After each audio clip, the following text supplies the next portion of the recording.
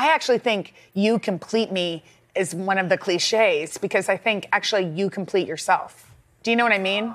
You don't need a man. You're not sitting around waiting for a man to come complete your life. You already got your life. If you have a man that complements your life, But I love that movie. Did you? Did you? Jerry you cried. Maguire. I love cried Jerry during. Maguire. That was the best moment, I wasn't know, it? you complete me